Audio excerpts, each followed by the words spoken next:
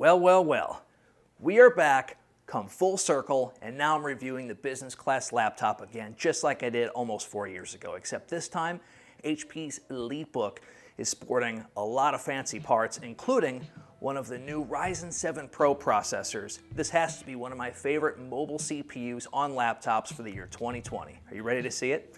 Let's rock and roll. I'm reviewing these three 14-inch laptops from HP, and today it's their EliteBook 845 G7. This is a business class laptop that's lightweight and powerful. HP calls this their Office Navigator. This is one of their higher end SKUs featuring an 8-core Ryzen 7 Pro, the 4750U with Vega integrated graphics. We have fast dual channel memory, half a terabyte NVMe storage with a shorter M.2 slot available. We have Wi-Fi 6 with its antenna located near the top of the lid for improved speed over range. I was surprised and thrilled to find the memory, storage, and Wi-Fi are all user replaceable and upgradable. The 53 watt hour battery lasted me anywhere from 8 to 12 hours for always on use and over 15 hours of video playback.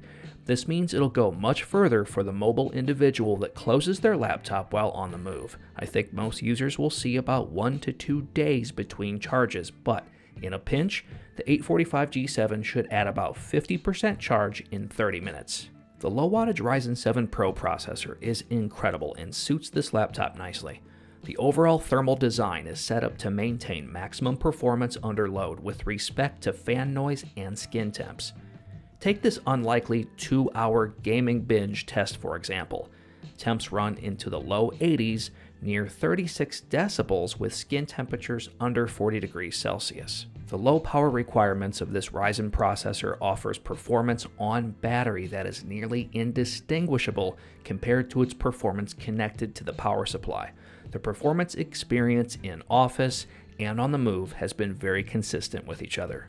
The 845 G7 has a rigid, all aluminum chassis that stands up to the strain of frequent sanitization and common household stains like crayon and ink. It was put through drop test standards that beat their competitors, better withstanding accidental drops that compromise the chassis, display, or even failure to boot.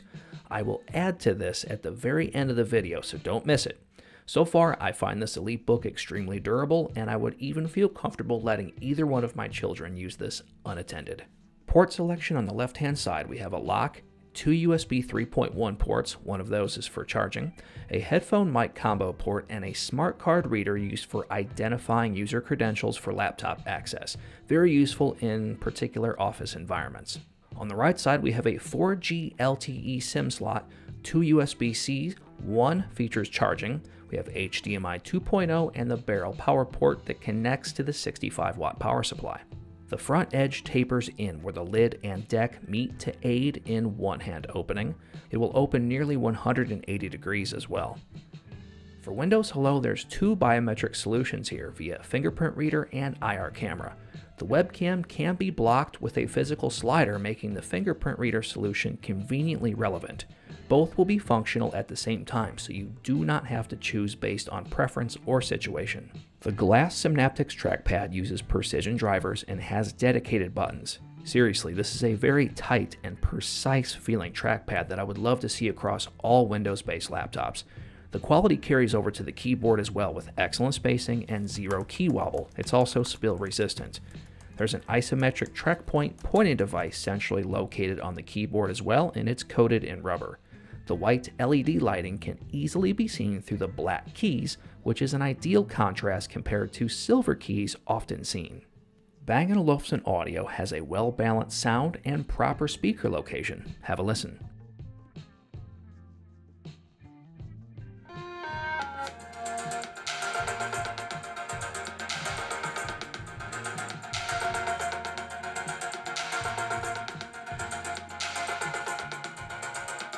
The 1080p matte display on this particular model came in at 100% standard RGB at over 300 nits. There was zero backlight bleed, this is a rock solid choice for most tasks this EliteBook would find itself in, minus direct sunlight. The 720p webcam and microphone located at the top of the bezel has a privacy shutter. I have always appreciated that. Now, the microphone sound's going to be quite jarring, especially since you just got done listening to me on my studio grade mic, so keep that in mind. Now, the video quality here is pretty decent at best, right? There's no ghosting, and I do appreciate that. So, video quality, not bad. Microphone quality by itself is also not bad. But once you apply it, intermittent ambient sound, such as me typing away on the keyboard, it will cut out my voice. And for a consistent ambient sound, such as me maxing out the fans on my editing laptop no more than two feet away from this laptop, it too compromises the sound of my voice. So keep that in mind when you're using this laptop. It would be fine for Zoom meeting calls, things like that, but just make sure that you are not pecking away on the keyboard or listening to some loud ambient sound, or else the individual may have a hard time hearing what you're saying on their end.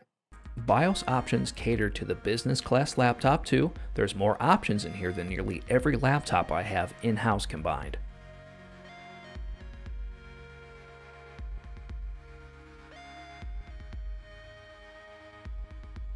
All right, if you go back to around the two and a half minute mark, I talked about durability on this device and I would be talking about this more near the end of the video. Well, here we are.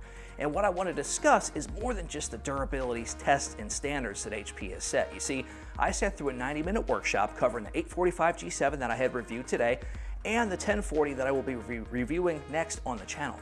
And what we had learned is, you know, benchmarks, thermal performance, skin temperatures, all of the expectations and, and, build standards that they have, you know, what you normally look at is fluff pieces, except this time, everything that I was able to test personally in-house and compare it to what they came up with was nearly one to one. Even the video playback that they had achieved 15 hours and 45 minutes, I was able to match that within 30 minutes of playtime. It was absolutely amazing just how accurate their testing was compared to mine. And I have to bring that to your attention because we need to see more of this. And the fact that HP is willing to, you know, go that extra mile to maintain their integrity or ultimately just produce facts is really nice to see. You know what else is nice to see? Subscriptions and sweet videos. Check these out. Thanks for watching.